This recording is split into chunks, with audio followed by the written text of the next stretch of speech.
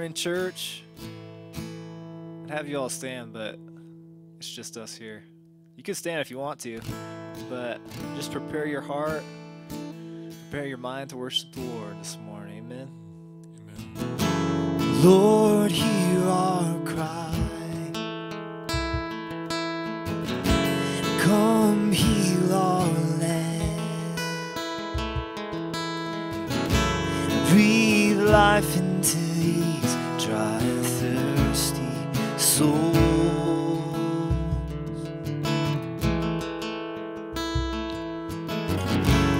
Lord, hear our prayer.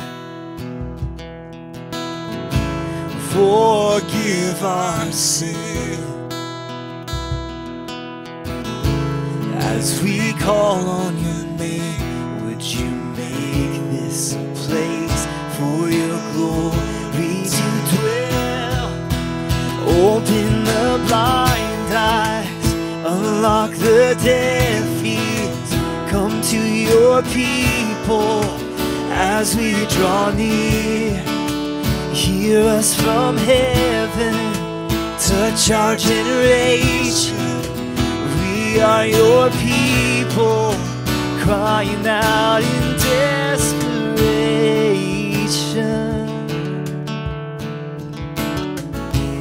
Lord,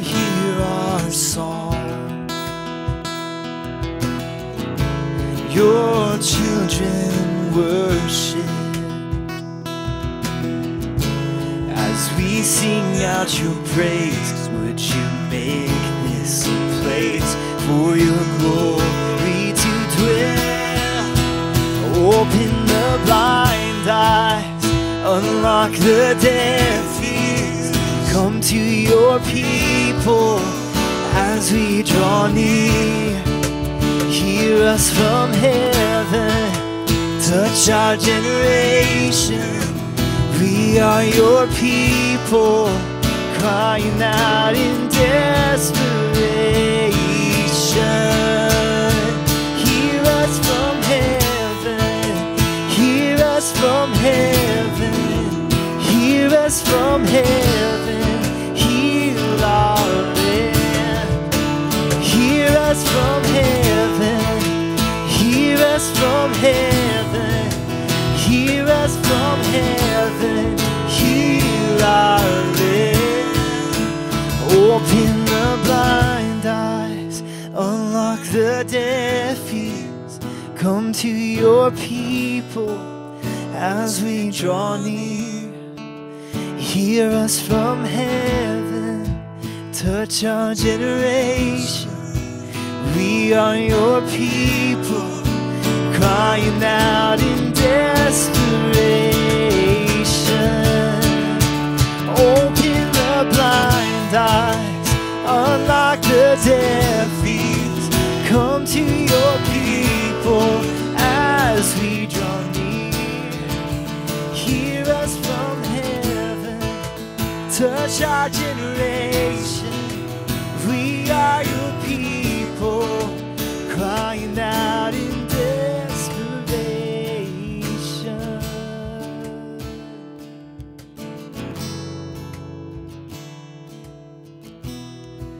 Lord, as we gather this morning under one name, the name of Jesus, I pray that you would hear our cry.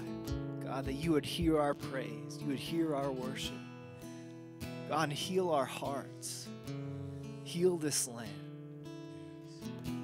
God, because we know with you we have hope. It's by the blood of Jesus our sins are washed away and we're cleansed, God. So we thank you and we praise you.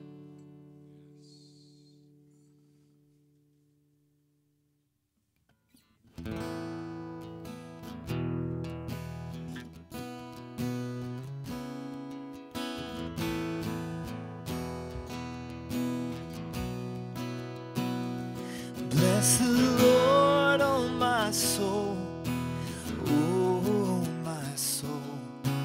Worship His holy name. Sing like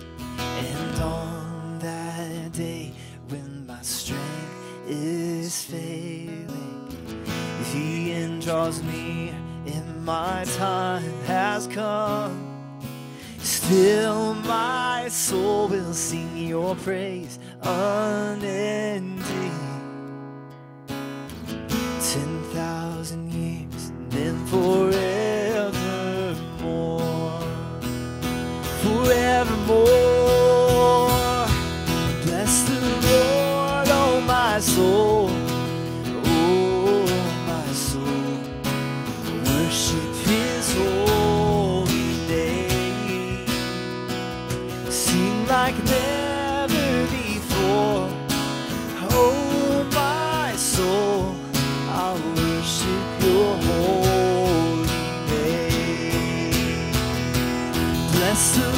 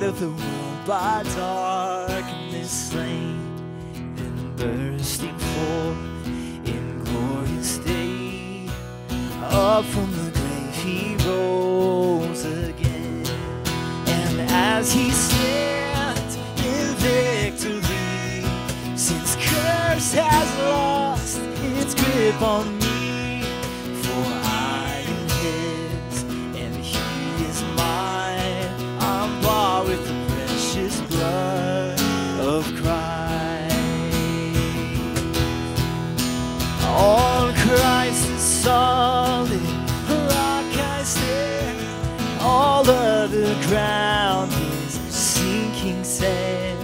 All other ground is sinking sand.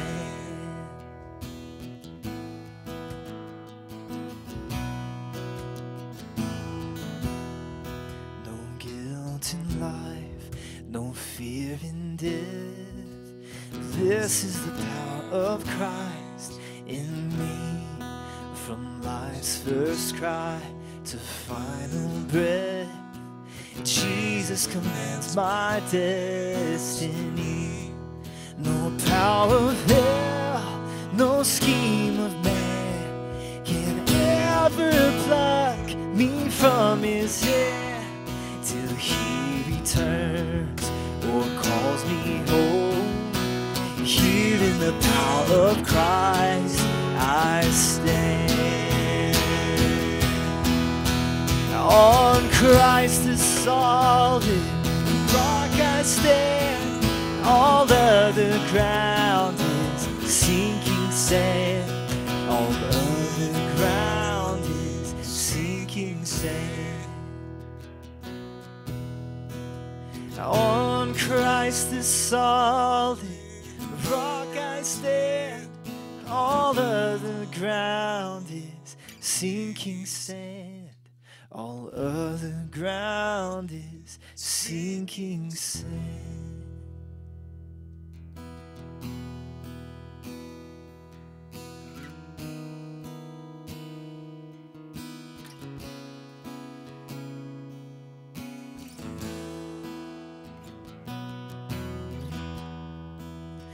Let us fix our eyes on Jesus, the author and perfecter of our faith, who for the joy set before him endured the cross, scorning its shame. Consider him who endured such opposition from sinful men.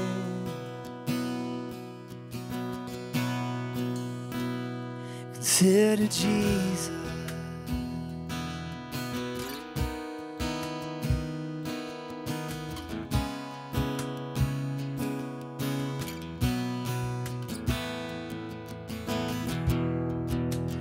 Let us fix our eyes on Jesus, the author and perfecter of our faith, who for the joy set before him endured the cross, scorning its shame. Consider him who endured such opposition from sinful men.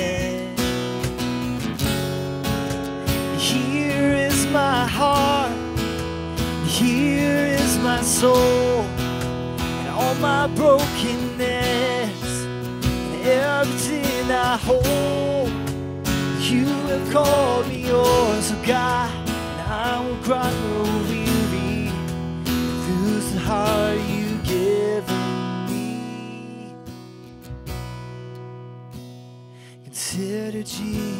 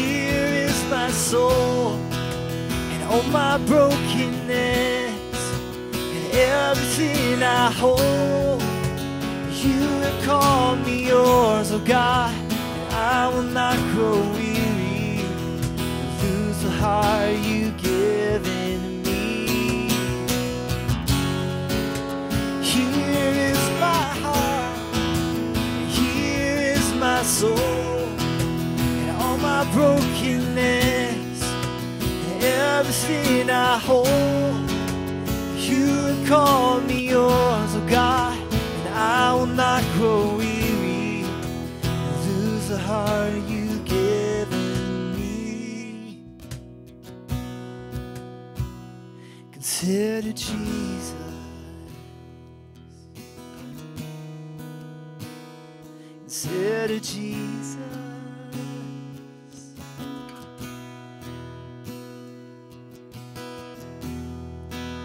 Worthy of every song we could ever sing, worthy of all the praise we could ever bring, worthy of every breath we could ever.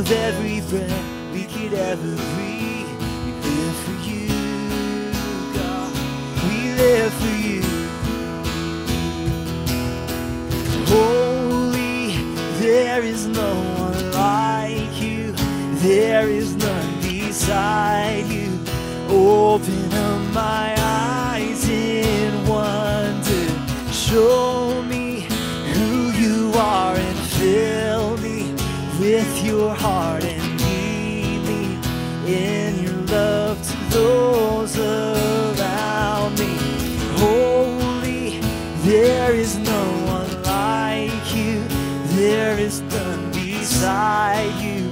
Open up my eyes in wonder. Show me who you are and fill me with your heart.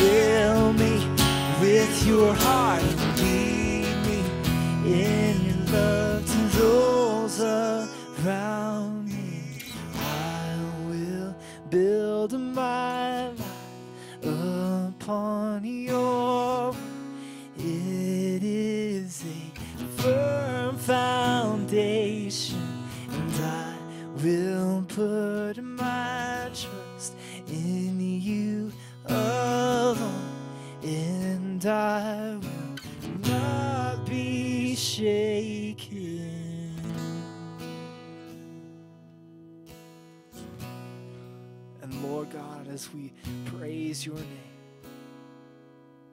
God, I thank you for the life that we have in you. God, I was thinking of the song, Who Am I? That the Lord of all the earth would care to know my name, would care to feel my pain, would care to feel my hurt. But that's the God that you are. God, and that's the God that we serve. God who's above all who's above all sin. God, the God who saves. And Lord, I pray that just as this song sings, we would look to you. Not to the things of this world, God, not to the things that our heart might want that are separate from you.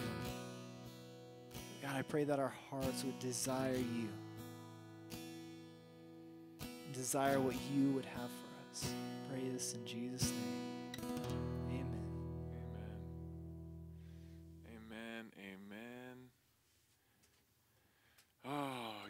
Thank you, Lord. Well, good morning. Oh, man, I just, the words of that prayer ringing in my heart that we would desire, we would want you, Lord, and let all the things of this world fade away. Well, good morning and welcome. Uh, it's good to be here with you guys. Uh, our first thing I wanted to do is say Happy Mother's Day. There's not a woman in the house this morning, but we want to thank you, mothers, because without you, mothers, there would be no one in the house, and that's for sure. So we want to thank you guys. We want to thank God for you. We, we want to pray this morning that you're blessed. And my prayer is that you get to maybe take it easy and do something you want to do today. And, and uh, we just thank God for you. We, we are blessed to have you in our lives. We're blessed to have the mothers, all the mothers, whether you're, uh, you know, I'm sure you're a mother, you can still be a daughter of someone and be a mother, whether you're the wife of someone and you're a mother. We just thank you for those moms, all of them. Thank you, Lord. So we pray that you're blessed today. Um, I believe, now I heard this in passing, I believe Mary said something about we do have some Mother's Day things for the mothers. So if you want to stop by next week and pick up uh, whatever it is, I don't even know. Usually it's like a coffee cup or a pen or something, a little bookmark. I'm not sure what it is. But Mary said she got some for us, so um, you mothers can come by and pick one of those up. Um, but it's good to be here with you this morning the way that we can. It's not normal, it's not the normal Mother's Day thing that we're doing. we don't get to see you and hand out a flower and all those things. I wish you guys were here. Um, but it looks like, with all that said, we are going to be reopening the doors very soon. So, a little too soon for some of us. We're trying to put some projects back together and get things ready.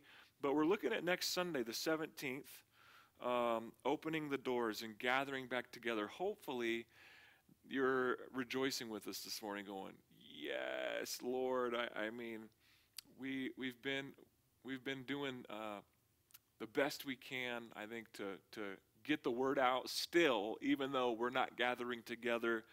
But I mean, it is. There's nothing like gathering together, and you know, worshiping corporately together with one another, and just allowing that awesome time, the Holy Spirit moving and working in our midst, and I'm just I'm really looking forward to it. So, a couple of things though. This is going to be kind of a, a little bit of a soft boot. We're going to do uh, just one service at 10:30. Um, and we're not we're we're not sure at this point. I think we're looking to try to get childcare or something so that the kids can still go have a church uh, kind of thing going on. But Either way, I'm just going to tell you this. You know, I don't know if Charlotte or Mary listening are going, no, or what. But hold on to your horses. E- either way, um, I would say bring your family, bring your kids. And if, you know, if the children's, if the children's church isn't open, which I'm assuming we will have at least somebody to help back there with some childcare and say, you know, talk to your kids about Jesus and all those things that we desperately miss. Uh, um, but even if we don't have something like that, still come. Still bring your kids. Still come to church. Hang out with us. Um, and if you're thinking you wouldn't be comfortable at service, or if you're thinking my kids are too loud at service, whatever, we are going to try to, you know, accommodate that stuff on the, on the patio and in the kitchen. So I, I would say just come and see these people, see the body of Christ, fellowship, get together with one another as we rejoice and get to worship. Now, listen, if you're not comfortable coming to church yet, we understand. We totally understand. Live streaming will continue, YouTube will continue. Um, if you show up uh, uh next Sunday at 10:30 and you look in the doors, and I don't know what it's going to be like. I don't know if people are going to not want to come. I think everyone's going to want to come. But if you look through those back doors in the sanctuary and you go, "There's too many people," well, then uh, I would say go out, try to find a spot. Where I think this is an idea I haven't I haven't passed by anybody yet, but I think we might block off some of those first parking spots so that we could have some more separate seating. Uh, if you guys want to, you know, distance yourselves even more. Um, but I'm just excited to see you guys. I'm excited to be together. I'm excited to worship with you. Um, so man, we're looking forward to services opening. I know it's it's kind of interesting because like you know we didn't contact any of the other Calvaries or other churches, but I've been seeing Calvary after Calvary that is opening next Sunday. So it's kind of a neat thing um, that we're able to do that. Um, that we've kind of got the okay, the go ahead for. Uh, from the from the government, and just so you guys know and can be at ease, you know, we're not trying to demand our doors be open, but we did get a letter from the Attorney General um, and they said we're okay to be open. They deemed churches as an essential uh, thing, and they've given us basically the responsibility of trying to be safe the best we can. So um, that's what we're going to do. We're going to open up, and we're going to ask you guys once again, though, to remember one another, to think of each other, uh, not only in prayer, but just to practice love. So if you're not sick, or you're not feeling good, or you are at risk and you don't want to come, do not come, especially if you're sick, though. Please just stay home, get better, come back when you're feeling good, right? Um, and, and also continue to pray for us that we would be able to have wisdom in these weird times. But with all that said, get your Bible out. Turn with me to the Gospel of Matthew, chapter 23 all this stuff on our hearts, on our minds, and rolling around our heads, let's get into the Word of God and listen to what He has to say to us. Amen. So, chapter 23 of the Gospel of Matthew, and where we're picking up, we're still on the Temple Mount. We're still in the scene. we're still in the last days of Jesus' life. He's just got done. If you remember um, from last week, the last time we looked at what was happening, they're kind of up in that courtyard and the, in the court of the Gentiles at the temple, and there's teachings that are going on. Um, and Jesus has been sharing a whole lot. But last week, the religious rulers that be, the powers that be, they, they came and tried to really stumble, stump, trap Jesus in his words. And we saw him respond in just amazing ways. I, I mean, they were, they were trying to guide him down one direction, and his answer was so far outside the box, but so full of truth, everyone was going, Whoa. In fact, they left off, if you guys remember, um, the, in verse 46, they left off that day. It, it says right there, from that day on, uh, no one dared question him anymore. So as Jesus is responding to these guys, he's really, in a sense, shutting them down. I mean, he's not trying to shut them down, but they're, they're shutting themselves down as they're trying to trip him up, and then he answers with such solid truth, they're going like, what do we say? And I look at that and I think to myself, you need to say, Jesus, I've been mistaken and I want you and need you in my life. That's what we say. We say, My pride, I'm wrong. And I want you in my life. But Jesus, at the very end of that scene, he asked them a question, and he, and he asked them about who he was, who the Messiah would be. If you guys remember, they said the son of David, and Jesus revealed that David himself called the Messiah the Lord, called him God. And so Jesus reveals that, and that's what really shut him down. And they couldn't say anymore. So this is still the scene. This is where we're at. He's still on the temple. It's still busy. There's still Passover coming. Things are happening all over the place. And he's going to continue now to address the religious rulers, but he's not going to address them the way he was before. He's not going to speak directly to them, answering their questions, correcting them.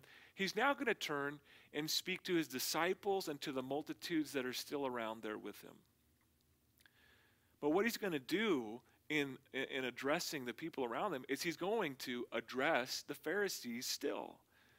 He's going to really warn the people about the Pharisees and the Sadducees and the religious rulers, the scribes.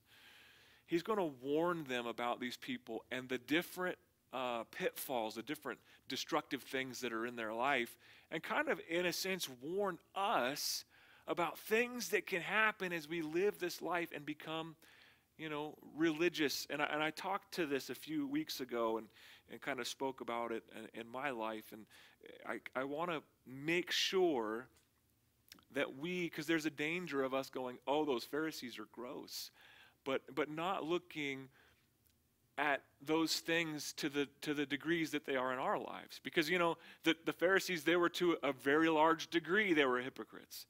In our lives, it might not be to that degree, but there are still some things in our lives that God wants to address.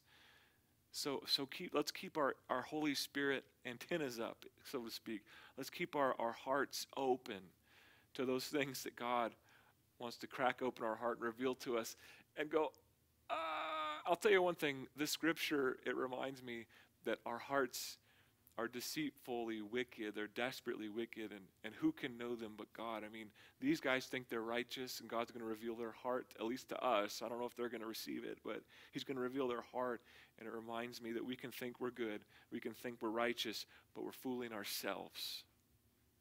So, anyways, with all that said, Jesus is going to correct, or I'm sorry, warn the people and his disciples about these Pharisees. And I have to just mention something.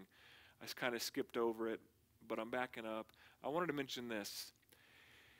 He doesn't pull everyone aside and talk about the Pharisees in private, kind of behind their back. He does all of it wide open in front of everyone. And, and, you know, all that to say, really, why? Why did he do it in front of everyone? Was it to disgrace and humiliate them? No, it was to reveal the truth. It was to reveal the truth.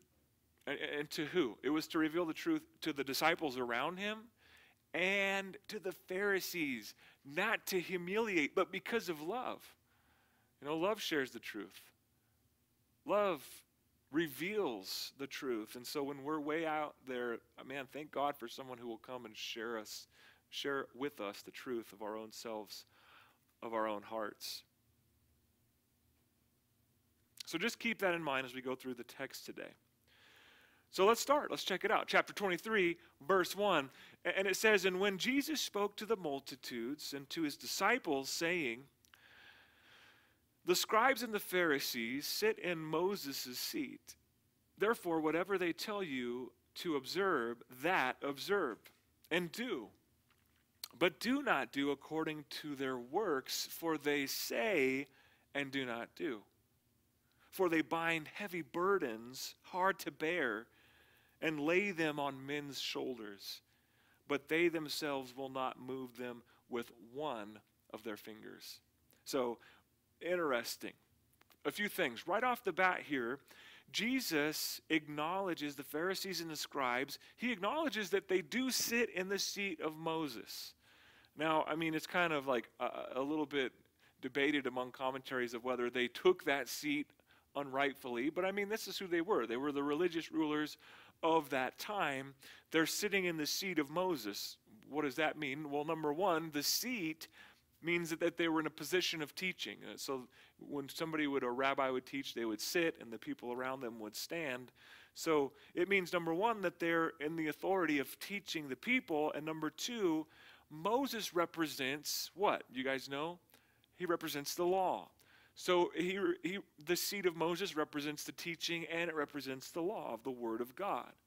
Um, so Jesus says, in regards to the teaching of the Pharisees, of these religious rulers, the scribes, in regards to what they're saying, listen to it. Listen to the Word. Listen to what they're doing and do according to what they're doing. But then he goes on to say, but don't do what they do. Ah, so I, you know, I, you kind of hear that old. You, you, you, probably think of that old thought, right? That's that's don't do what I uh, do, or do what I say, not what I do, right? Do what I say, not what I do. Jesus is saying, look, do what they say, don't do what they do. That doesn't mean that it's okay to say that. That means these people were messing up, right? It means the Pharisees, the religious rulers, they were messing up. They were saying, I mean, they weren't practicing what they preach. I, I don't know if you've used that before, practice what you preach. But when you, when you become somebody who shares the word and somebody says that, it's like a whole other thing in your mind. You're going like, I want to do that. And you can see your own life and go, I fail in so many areas of that. But I want to do that. I want to practice what I preach. And this is what Jesus is saying don't be like them.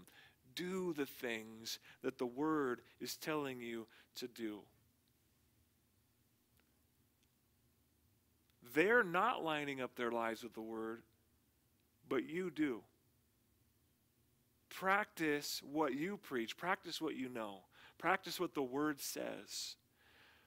And then, according to Jesus, the other thing that they do here in the text is they, they give heavy, burdensome teachings, hard, heavy things that weigh people down, that guilt people, that burden people, but they themselves are not willing to do them.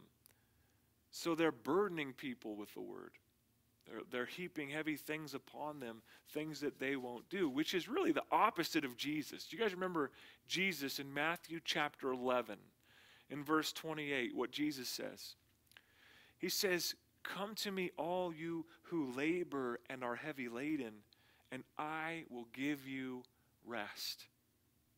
Take my yoke, I mean, which is work with the work that I'm giving you. Take my burden, take my yoke upon you, and learn from me. For I am gentle and lowly in heart, and you will find rest for your souls. For my yoke is easy and my burden is light. when you compare those two side by side, it's, it's a no brainer. Which one do you want to follow? You want to follow some teacher that doesn't practice what they preach and they lay heavy trips on you. And, you know, uh, I don't know why, but one of the things that pops into my head is like kind of like the TV, you know, preacher evan- evangelist guys that are like, you know, all about send your money, send your money, send your money. And I think, what about you? I remember Chuck Smith saying, if those guys really believed what they said, they would be sending you their money because they know God's going to bless them instead of standing up there asking for money. And I think to myself, man, it's a burden that they want to put on people, but they're not willing to bear. And so that's what Jesus is calling these Pharisees, these hypocrites. He's calling it out. But look at, man, we could just spend the rest of the morning looking at Matthew chapter 11, 28 through 30, because it's so good. I mean, I'm not going to do it, but it's just so good. Jesus, he, He's the one you want to learn from. He's the one we want to follow. He's the one we want to, you know, not learn from at a distance, not just hear His words, but to yoke up to but to, to be joined alongside in the work. He's like, I'll help you through the work. Not like the Pharisees sitting in their seats, putting burdens on people, saying, Come with me. Join me in this way of life, in this walk. And when you take my yoke upon me, number one, learn from me. But number two, he says, his nature, I'm lowly of heart, I'm gentle. Man, it's awesome to, to learn from somebody who's that way you know, and not going, What's the matter with you? Why can't you get this? I told you 15 times. Jesus is like, No, come on, let's go together. He's gentle, he's lowly, he helps us in this walk of life. And he says, And when you come with me, you will find rest for your soul. Of course, the Pharisees weren't giving people rest. They were heaping burdens that were unattainable upon them. They were taking the law and adding so much to it. Of course, you know, we see that the biggest with uh, the Sabbath day, right? All the little things they said, you know, you got to take your dentures out because you're carrying a load, a burden. You can't have a false leg. You can't, all of these things. You can't turn the light switch on. All these little rules that they did in order to be holy, righteous, that weren't even a part of the law. Jesus says, You come with me you're going to find rest for your soul. I don't know about you. I could use some rest for my soul. Jesus, will you, will you let us come with you? Let's attach to him. Let's follow him. His yoke is easy, his burden is light. Now, I spent way too long talking about that. So Jesus moves on from, from these heavy things that they won't do to now it's, it, it, he kind of moves the idea to the why why they do the things that they do do. I don't know if you can say do do in church, but I just did. Why they do the things that they do do, okay? Verse 5. Sorry, you're not in church, so it's okay. You're, you're just watching from home. Forgive me on that. Verse 5. But all their works they do to be what? Seen by men. They make their phylacteries broad and enlarge the borders of their garments. They love the best places at feasts, the best seats in the synagogues. They love greetings in the marketplace and to be called by men, Rabbi, Rabbi. But you do not be called Rabbi, for one is your teacher, the Christ, and you are all brethren. Do not call anyone on earth your father for one is your Father, he who is in heaven. And do not be called teachers, for one is your teacher, the Christ. But he who is greatest among you shall be your servant. And whoever exalts himself will be humbled, and he who humbles himself will be exalted. Man, so Jesus goes into this section it's full of all kinds of awesome stuff, um, but really, really calling out these guys um, at some of the things that they're doing in order to be seen by men and the things that they love, which is recognition from men. So let's take a look at this. In verse 5, he starts out revealing to them that their heart is far from God, but their works they do for that recognition, for that praise and honor of men. And he starts out by saying they make their phylacteries broad and they enlarge the borders of their garments. So, what's a phylactery? I don't know. Have you ever heard of a phylactery worker? I'm just kidding. That's a factory worker. Different thing. Phylacteries are these, I don't know if you guys have seen them before, but they're these little boxes that the Orthodox Jews will still wear, but they'll, they're little boxes like this and they have scriptures in them and they'll actually strap them to their forehead. I remember the first time I saw those, the, the way that they're shaped is weird. They have like a flat plate and then the box is a little bit smaller on top of the flat plate. I can't, I don't have a picture or anything. But when I saw it, I thought it kind of looks like a top hat, but micro size, you know, like what is their top hats are horrible. But anyways, they got these little boxes with the scriptures, so they bind them to their heads. You know, it comes from the from an Old Testament thought of binding the word to your to your heart, of putting it between the frontlets of your eyes. It's, it means to keep it on your mind, to keep it on your heart. Well, they actually literally put the scripture on their head, and then they'll sometimes put it on their arm right here with a leather strap and wrap, wrap it all around themselves. If you've been to Israel, you might have seen some of those guys, or either Israel or New York, Brooklyn, wherever. You'll see some of these guys.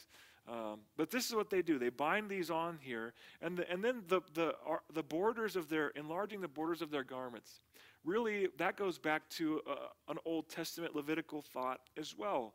That the Levitical uh, guys with their robes, they'd put these borders of blue ribbon on the garments of their, uh, of their robes in order for that, when they saw these blue ribbons, it would remind them of heaven. So it's one of those reminders that every time you'd see them, you'd, you'd get your mindset back on what you're living for, what you're wearing these clothes for, what you're getting up in the morning to do every day. And so they had these, uh, these couple of things that they were supposed to do. And so Jesus says, You guys, he basically calls them out you you've begun to make this like into some sort of competition. Who can have the biggest border on your garment? Or who can have the biggest box of scripture on your head? And it's an outward thing. It has nothing to do with your real righteousness or spirituality. It's just to be seen like, whoa, dude, man, that guy's carrying the whole book on his head. Like it's going to make you into something that's more pure more holy. And so here they are doing this stuff doing this spiritual stuff, these spiritual dance. I don't know. In my mind, it's like spiritual peacocking. They're just, they got their feathers out, you know, and they're walking around like, ooh, wow, look at that.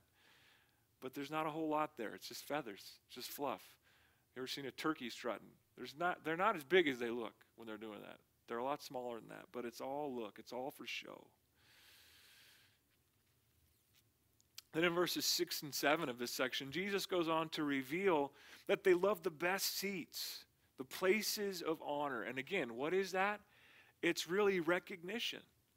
They love the position that, that comes with their title of being a, of a, a leader, a God, you know, leader of God, a, a, a scribe. They love that people would greet them in public and say, Rabbi, Rabbi. And Jesus turns this on its head and says, You and I, us, kind of to the common people that he's speaking to, we don't do this.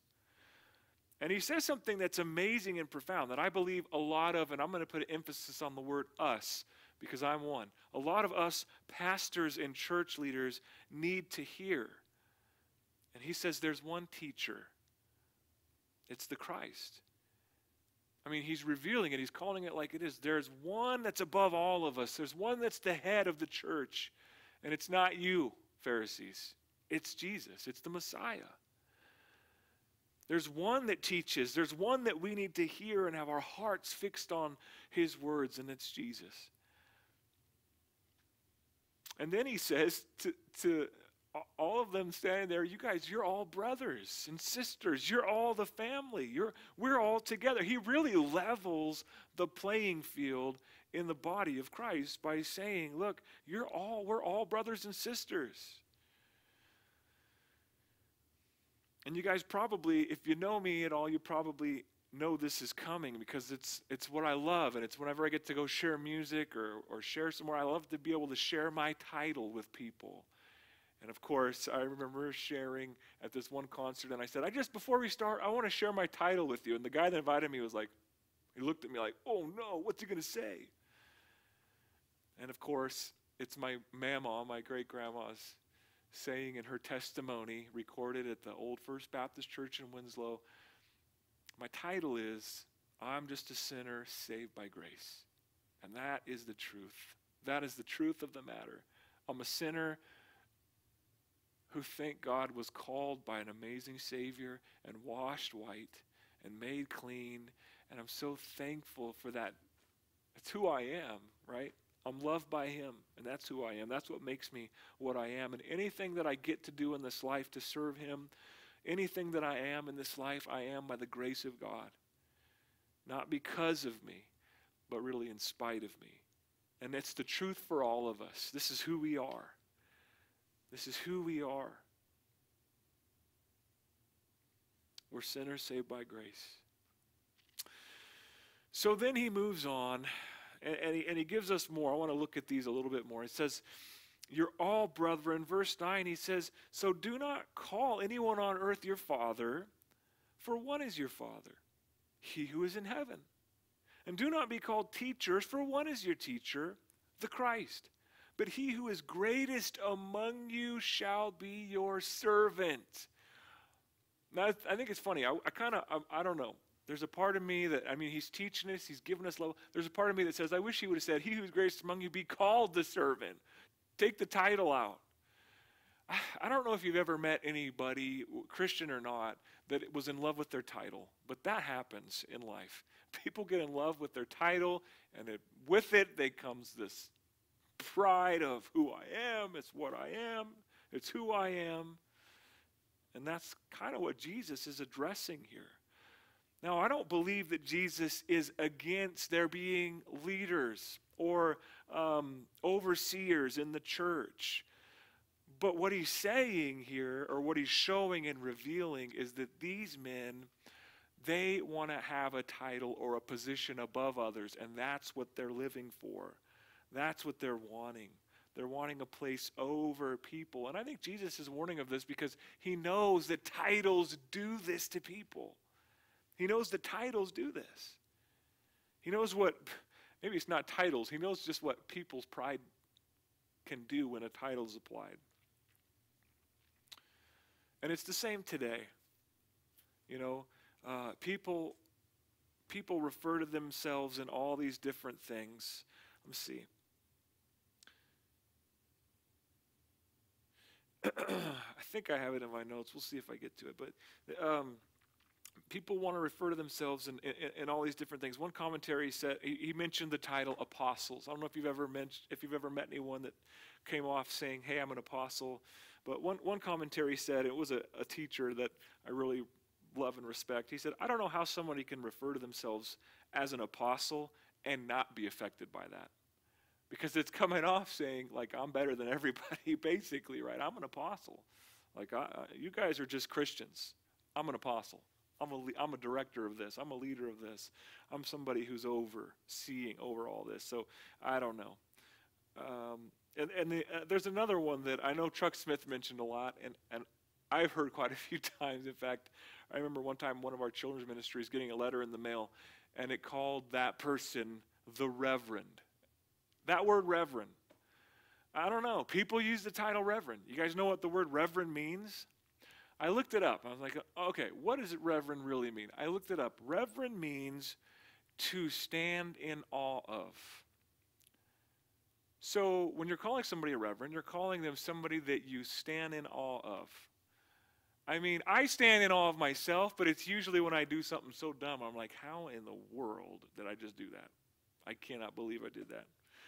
Stand in awe, but not in the way to revere somebody, to revere, to regard somebody so highly. Man, Jesus is the only one we should be standing in awe of, right? What he's done for us. We just get to be beneficiaries. We just get to partake in all that he has done. Then Jesus goes on, he gives us a few more names not to call us spiritually. He says, literally, and he's talking about spiritually, right? He's not talking about don't call your dad father. That's not good. Don't call your elementary school teacher teacher. No, he's not saying that. He's talking spiritually. he's saying, you know, don't call them rabbi, father, or teacher because that would put them above you. That put them in a place above where you're at. And you're all brothers and sisters. Now, when I think about that, I mean, sometimes I refer to myself as teacher, and I'm, I'm not trying to refer to myself as teacher because a teacher comes off as like, I already know all this stuff and I'm just teaching it to you guys. No, I'm a learner. Every time I get to dig in and study, I'm learning right alongside you guys. So I'm really not a teacher. I'm just a guy that likes to go through the Bible and study through it and share what I find, the nuggets here and there. I, and in no way, shape, or form am I over anyone. I'm just blessed to be able to do what I get to do. Thank God for the people that he calls. You know, pastor, the word pastor, it's a title, right? The word pastor really means shepherd. I like to call myself a lead sheep, and I'm just as sheepish as all the other rest of the sheep. I'm, I'm, I'm not above anyone. If anything, the title, the way I look at it, doesn't give me like honor or it doesn't give me power. What it gives me is responsibility that I need to be diligent with that I need to, to love people and to continue to teach the word, rightly dividing his word. So, anyways, a couple of words on that. But he says you have one Father, and your Father is God. You have one teacher, and it's Jesus. And so here we are this morning to be taught by him in his word. Amen. So, uh, but once again, at the end of this section, Jesus goes in and he once again reveals the path to greatness, which is not to gain a title or a position, but if you want to be great in the kingdom of God, you need to be a servant. I'm so thankful that he reveals to us the truth. I'm so thankful that he gives us the way to be great to serve, to love, to be lowly, to be of no reputation, to be a brother or a sister, just somebody with loving heart, loving hands to serve. And he ends this section with one, or uh, yeah, no, he ends this section um, with what one commentary said, and I would agree, is a spiritual law. Verse 12. He says, And whoever exalts himself will be humbled and he who humbles himself will be exalted. I don't think I can add to that. I don't think I even want to comment on that. It's just a truth, it's a fact. Lord, help us to be humble. Help us to have a real assessment of ourselves. And then he moves into this next section, uh, which, in which he proclaims, starting in verse 13, he proclaims eight woes to the scribes and the Pharisees. One interesting thing to do is to take these eight woes to the scribes and Pharisees and align them up against the Beatitudes. Uh, and there's a few of them in here that I'll probably mention, but they really line up really well with uh, the Beatitudes, and, and it's just an interesting thing, kind of parallels each other. Because these, the Beatitudes show us how to be blessed. Blessed are you if you, and, and blessed are the, those who mourn. Blessed are the, and so we have these how to be blessed in this life. And then these woes show us really the opposite how to be messed up in life. If you do these things, whoa, it's going to mess up, it's going to hurt you. So one so shows us to be blessed, and the other one shows us to be a mess. So let's look at the first one, verse 13. He says, But woe to you, scribes and Pharisees, hypocrites! For you shut up the kingdom of heaven against men. For you neither go in yourselves, nor do you allow those who are entering in to go in. So the first woe that Jesus tells them is that they are shutting up the kingdom of heaven against men. Of course, he already mentioned the burdensome things that they're putting upon men that they can't even attain and that they don't even, you know, people can't attain and they don't lift a finger to do. But the meaning in this, to me, when I'm looking at this, I'm reading through, is that they're blocking people from going in. And them, as spiritual leaders, blocking people from entering heaven, it's like double uh oh, double woe. That's not what spiritual leaders do. Spiritual leaders show people the door into heaven. Question, really quickly what's the door? Jesus is the door into heaven. And this is where their problem is. They're not showing people how to get in because I believe the most literal way that they're rejecting or stopping people from coming in is by rejecting Jesus as the Messiah.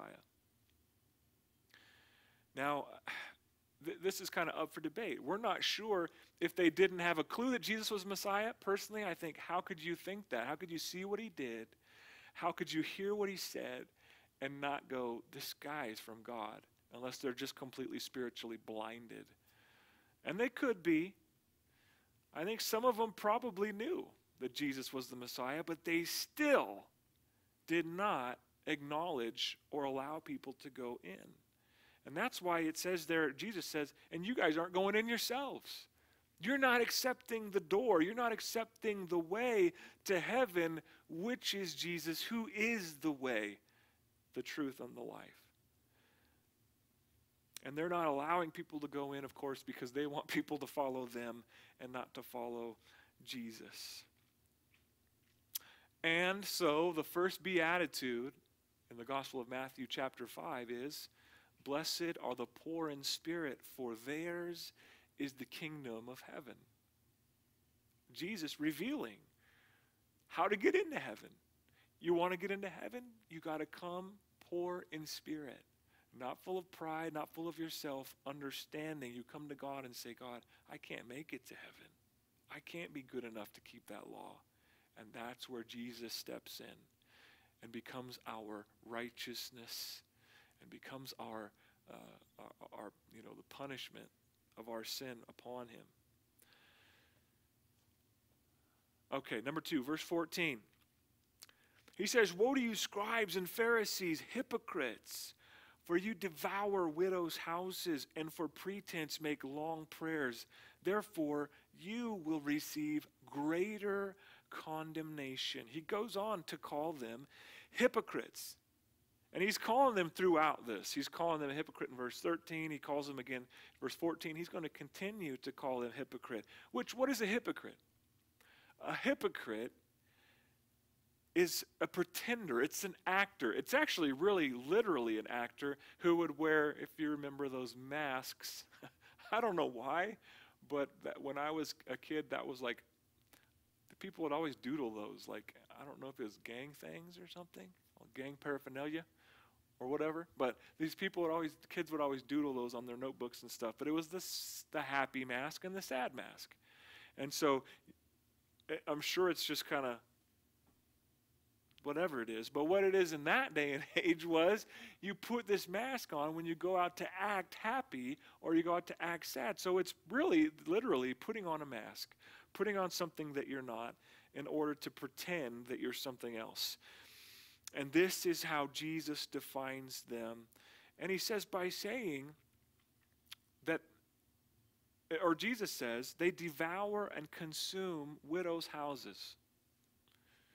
One commentary that I went through said that they would take and they would actually get widows to hand them over their house through kind of conniving ways in order to take the money for the Lord, but really were padding their pockets.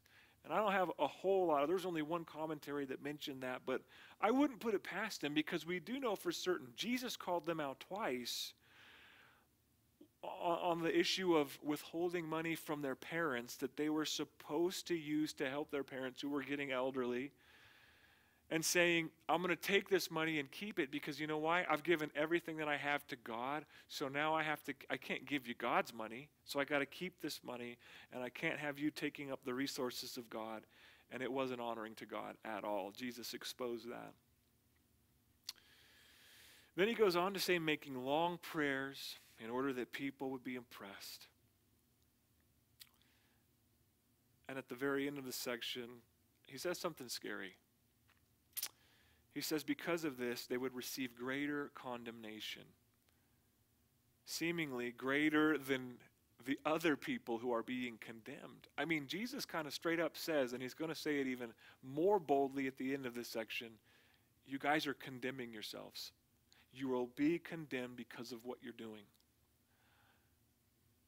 Counting them with the condemned for being hypocrites and ripping people off in the name of God and I would even say, back it up to verse 13 for leading people astray, keeping them out of heaven. And then going back even further, a few chapters back, when Jesus pronounced a woe on those who would stumble little ones, little believers. And so here they are supposed to be leaders of the, Uh, of the you know, representations of God, leaders of the, the synagogues in that day and age. And here they are leading people away from the truth. And then the, the beatitude from chapter 5, the second one Blessed are those who mourn, for they shall be comforted. And when I read that, I think, well, that goes for those widows, you know, those people that are being wronged uh, by these men. Blessed are those who mourn, for they shall be comforted. Verse 15, number three, the third woe. Verse 15 Woe to you, scribes and Pharisees, hypocrites! For you travel land and sea to win one proselyte, one convert. And when he is won, you make him twice as much a son of hell as yourselves. So here, here's these men who Jesus doesn't deny their zeal. They're zealous, but they're not zealous for a good thing. They're zealous in the wrong thing they're really trying to build their own kingdom. They're going out to convert someone, and it says across the sea, right? So they go far away from Judaism to convert a Gentile, to pull them out of paganism, and they throw them into this burdensome religious system that really isn't honoring God, but honoring their rules and honoring their commands. And so, man, it's just crazy. And it says that they make them twice as bad as themselves. And, and this is, as I was studying through this, I just, I thought, this is just crazy. They're taking somebody from a different culture that doesn't know God, doesn't know God the way that the Israelites who knew the old covenant, the Old Testament would.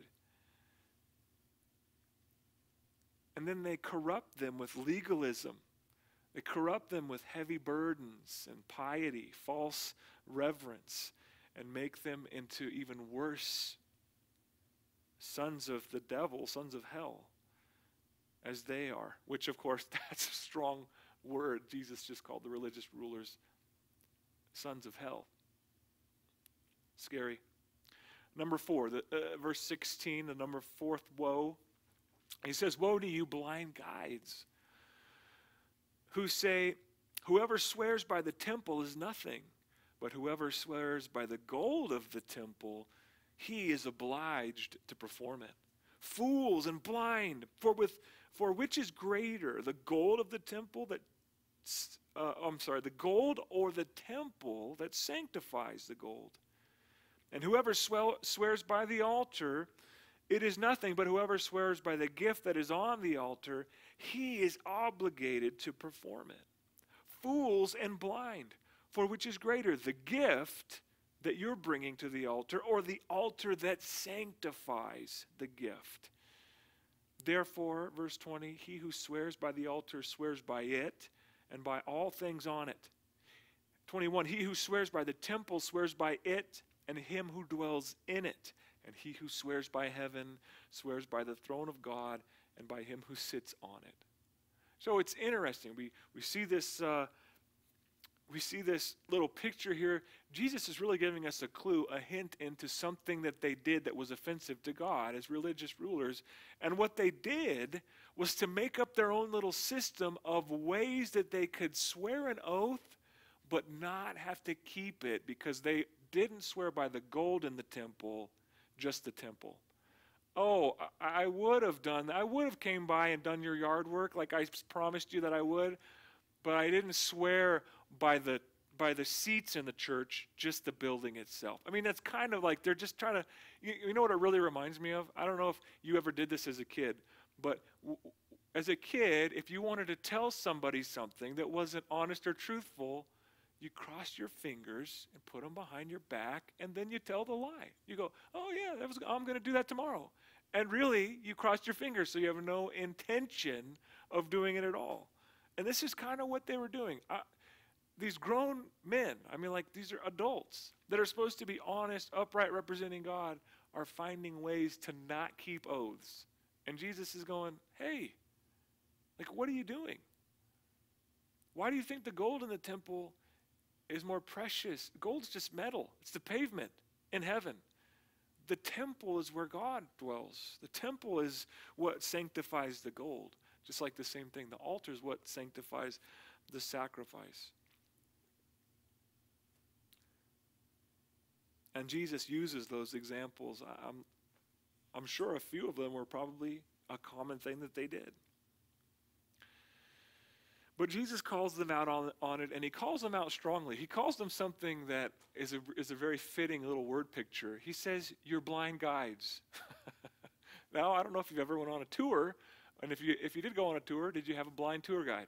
It's a very difficult thing to have a blind tour guide to guide you somewhere, but it's a great word picture because really they're fooling themselves by thinking they're getting away with swearing by the temple or the Lord or whatever and then not doing it. They think they're getting away with something.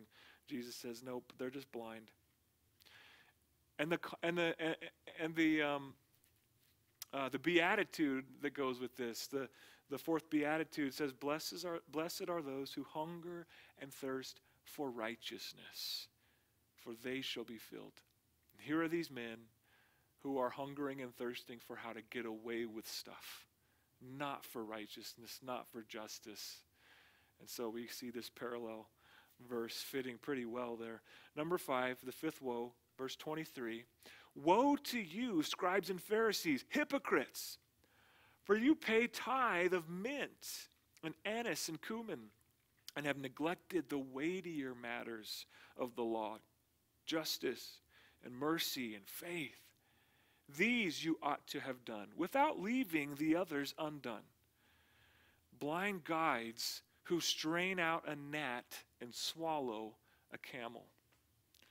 So, once again, Jesus, he, he's, he's here, he's addressing this tithing ritual of the Pharisees. We talked about it a while back, that they would do this kind of tithing to the smallest thing. Usually they try to do it where people could see, so that people will go, man, they, they give everything of they have, they give a tenth of it to the Lord. I mean, even the salt, they're like, I'm going to take nine grains of salt for me, one for the Lord. And I don't know what they would do with it. They add it up someday and take it, give it to the temple, dust it off on the floor, and say that's for the Lord. I don't know, but they're doing this thing. It's a work that they're that they're trying to do in order to be, really to be, come across as godly, to be honorable to the Lord. And what are they leaving out? Jesus says, you're leaving out the more important, the more heavy, the more weighty things, and that is to be just towards your fellow men. And that is to show mercy to people, to love people when they don't deserve it, and that's mercy. And to have faith. So, really, one of the what Jesus is showing us is that they are becoming unbalanced in their life of service to God. It became about a work, and it really became about a lesser work. It was almost like they would be like, look at me in this little busy work that didn't mean anything. But in the things that really meant something, they, they, they would, oh, I'm too busy counting my, my tithe of cumin to go help that person or to give of them some, some assistance or whatever it was. And so God is saying, you know, you're just not loving people. You're not doing the things, or Jesus is saying that, that that, God would have you to do. And really, it reminds me of Micah chapter 6, verse 8, where it says, He has shown you, O man, what is good, and what does the Lord require of you, but to do justly, and to love mercy, and to walk humbly with your God. Man, when I think of these Pharisees and what they're doing in their heart, this was in their Bible and they're missing it. And I guess I have to stop and say, Lord, help me not to miss those things that are just so evident, so clear. The way to be like you. Because here they are. And boy, are they missing it. And then he uses this illustration, this word picture. it's really comical. It's awesome. Uh, uh, and he says, You strain out a gnat but you swallow a camel. I don't know if you've swallowed a camel before. Swallowing a camel is very difficult. I recommend a big glass of water because they get stuck right there, right under your beard.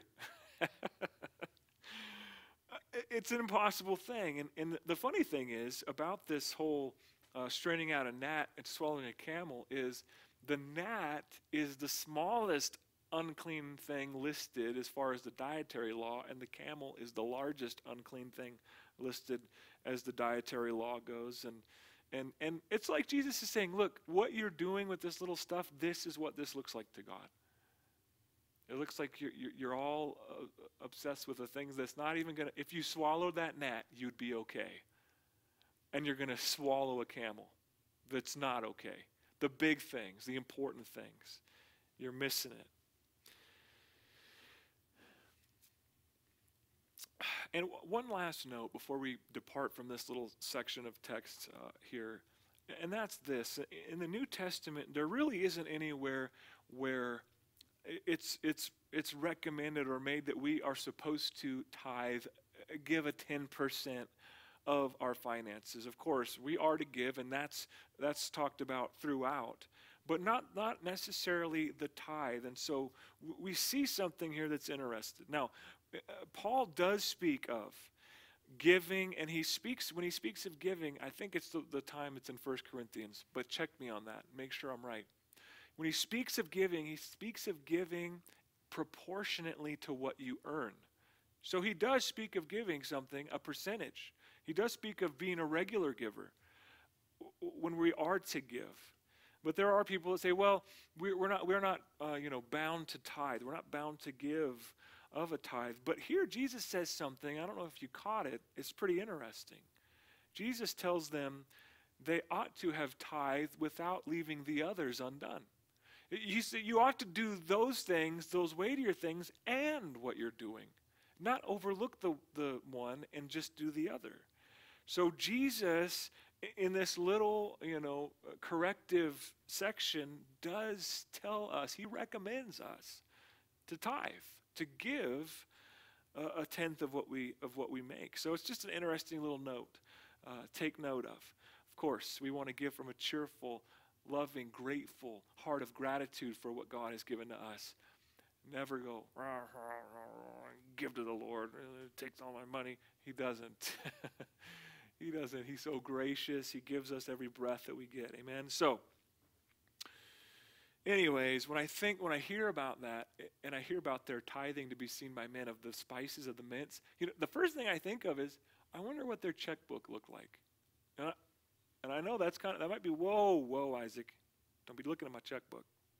Don't be looking at my checkbook. But if you, if you think about it, if they're ripping off widows, if they're ripping off elderly parents, if they're making money off of people who come to worship by, by you know, trading uh, the money changing and all that stuff, if they're doing these things and then tithing in these little mints and herbs, it makes me wonder it makes me wonder what, what they're really doing, what's really going on, because according to Jesus, it's not right.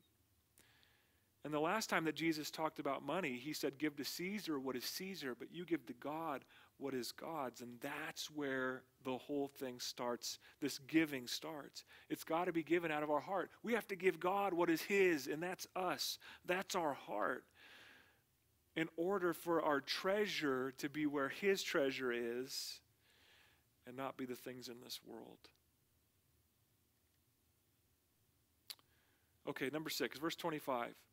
It says, Woe to you, scribes and Pharisees, hypocrites, for you cleanse the outside of the cup and dish, but the inside are full of extortion and self indulgence. Blind Pharisee, first cleanse the inside of the cup and dish, that the outside may be clean also. And Jesus goes into like this mode over the next last three woes, this one and the last two. Um, and it's this concept that Jesus reveals to us with their deeds, with all the things that they did, that they are being hypocritical. They're worried about the outside. They're worried about what people think and see of them and not the inside, not what God can see, but what man sees. Jesus reminds them God sees the inside of your cup and it's gross. And you're drinking out of it. I mean, like that's the picture that he's painting with this cup. It's an, it's an awesome picture. It's a perfect picture. Because if somebody came and they gave you a glass of water and the outside was clean, but there was crusties that were floating up from the bottom because they were stuck to the bottom of the cup, you'd be like, no, no, this is, I got to get a different cup. This one's dirty inside.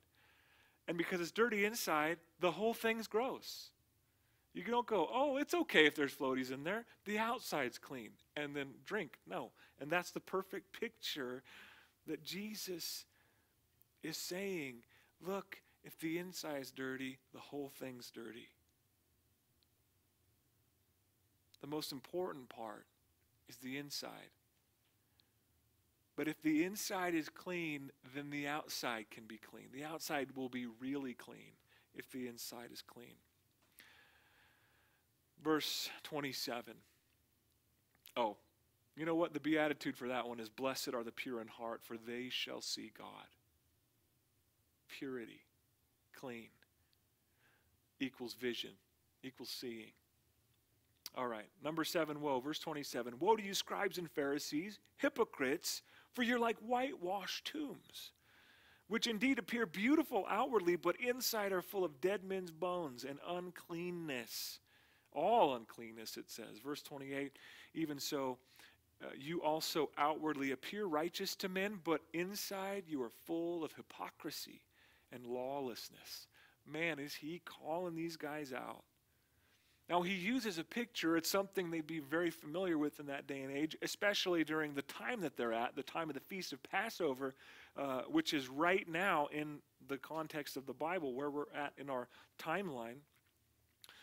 And the reason that they would be familiar with whitewashed tombs during this time, and you might be familiar with it, is that especially the tombs that were kind of hidden or you couldn't see, obscure, under a bush, whatever, they would get those tombs, the stones, and they would paint them with whitewash, with white paint, so that they were really easily spotted. Because if you touched one or sat on one or leaned on one or whatever, didn't know what it was, you'd be considered unclean and would not be able to partake of or celebrate the Passover.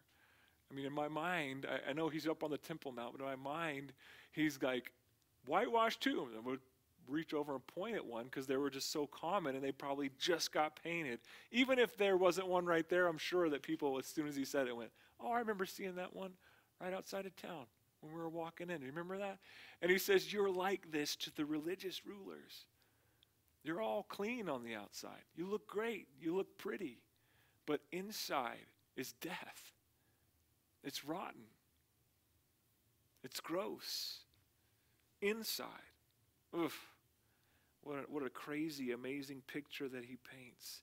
You appear to be clean on the outside, but inside you're full of uncleanness, hypocrisy, and lawlessness. Self indulgence, he mentioned. They're full of themselves, full of sin. And the last woe here we'll go through, and we're just about done. We'll close up here in just a minute. The last woe, verse 29 Woe to you, scribes and Pharisees, hypocrites, because you build the tombs of the prophets and adorn the monuments of the righteous, and say, If we had lived in the days of our fathers, we would not have been partakers with them in the blood of the prophets. So, really quickly, before we move into the last section, what they're saying is Shame on our elders, on our, on our family, the, the, the people of Israel before who killed the prophets. Jesus, he calls them out. He says, You guys go and you dress up their tombs. You, you, you, you decorate them and, and, and honor them uh, by saying, We would have never killed the prophets of God. Well, what's the irony? They're about to kill the Son of God. Just like that um, parable uh, of the vineyard and the vine keepers. They saw the servants coming and they killed them. And when the son come, they said, came, they said, Let us kill him and take all will be ours. And so here's the irony of this whole thing. Verse 31, Jesus calls them out. He says, Therefore, you are witnesses against yourselves that you are sons of those who murdered the prophets. Fill up, then, the measure of your father's guilt serpents, brood of vipers. How can you escape the condemnation of hell? Therefore, indeed, I send you prophets, wise men, and scribes. Some of them you will kill and crucify, and some of them you will scourge in your synagogues and persecute from city to city, that on you may come all the righteous blood shed on the earth, from the blood of the right of righteous Abel to the blood of Zechariah, son of Berechiah, whom you murdered between the temple and the altar. Assuredly, I say to you, all these things will come upon this generation. So he, he calls them out. He says, You guys think you're guiltless in all this. You're guilty. I'm going to send prophets. I'm going to send people to tell you, to testify of me. You're going to crucify them. You're going to scourge them. You're going to hunt them down from city to city. Again, when I think of that, I automatically think of uh, Saul. I think of the Apostle Paul. And, and he's going to do that, literally. Hunt them down. Kill some condone their murder. So he is going to do these things. And, and, of course, Jesus says, you, know, you're going to be a part of this. And, and how are you going to escape the condemnation? Verse 33 man, does he say some sharp words to these Pharisees. He says, serpents, brood of vipers. Okay, so he's calling them serpents brood of vipers. And I just want you to think really quickly for a second who is that serpent of old? Satan, the devil. And so he's calling them the kids of Satan. Really, you're you're a brood. You're an offspring. You're a you're a uh, you know what is it? A snake nest full of baby Satans. This is what you guys are. How are you going to escape the condemnation of hell? Absolutely crazy. And I'll tell you how to escape the condemnation of hell. And I thought about this earlier uh, when I went through the cleansing of the cup and the and the and and you know or I'm sorry the inside being dirty and the outside being clean and the whitewashed tombs full of bones. How do you make those things clean? How do you avoid the hell that we all deserve? Jesus is the escape. He's the answer Man, the only way to be cleansed and washed on the inside is by the precious blood of Jesus that makes us whiter than the snow. The only way to, to, to move away from being a, a son of Satan, of the devil, is to become born again and become a son of God. And this is the direction that we, we know Jesus is taking, but we know. We understand. We see the picture from our point of view and we can see the whole thing clearly, what Jesus has done. He is the escape. And the end of this section, Jesus, he doesn't just leave it there. We really get to see the emotion. He's so emotional over everything that's going on. He just rebukes uh, the, the ways of the Pharisees, the ways of the scribes. And then he goes on to show us that he's doing this in order that people would come to him and he shares his heart over all the people. In verse 37, he says, O Jerusalem, Jerusalem, the one who kills the prophets and stones those who are sent to her. Speaking directly of what he just said. How often I wanted to gather your children together as a hen gathers her chicks under her wings, but you were not willing. See, your house is left to you desolate. For I say to you, you shall see me no more till you say, Blessed is he who comes in the name of the Lord. So Jesus cries out to all of these lost children of Israel. He cries out, and, he, and he's, you know, we see, I think it's the Gospel of Luke, where it says that he, he wept. He's looking at the children of Israel. He's looking off the mount, uh, uh, the Temple Mount over Jerusalem and over all these people come together for Passover, and his heart is broken because he wants them to come. He, his desire is that he would come. And what does it say there? That, that he'd be like a hen, that he would have his wing out and protect them. His desires they would come and he would be their shelter. And he would be their protection. He would be their salvation. But what does it say there? in verse 37? But they were not willing. I want to ask Caleb to come up. And I, and I want us to come to this place. I mean, one of the commentaries that I went through, he said, I'm going to be a little, he, he called it provocative here. I'm going to say something. Jesus didn't say, I wish I could gather all of you, but you were not predestined. He did not say that. He said, You were not willing. You have the choice to come so that He could be your shelter, so that He could be your protection, so that He could be your calm in the storm, so that He could be your salvation, so that He could be, and He is, what we need in this life. He's our hope, He's our peace, He's our comfort, He's our, our, our, our, shelter in the storm, He's also our anchor in the waves. He's what holds us and keeps us. He's the best thing we've ever found. He's the best thing I've ever had in this life. And so I want to just give a call out, just like Jesus did, and say, He wants to be those things for you, but will you come to Him?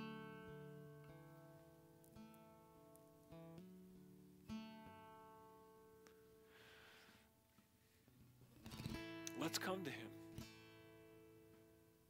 Do it. Don't wait. Don't wait another day. Don't wait till tomorrow. Come to Him now. Let Him be what you need. Amen. Open the blind eyes, unlock the deaf ears. Come to your people as we draw near. Hear us from heaven, touch our generation. We are your people, crying out in desperation.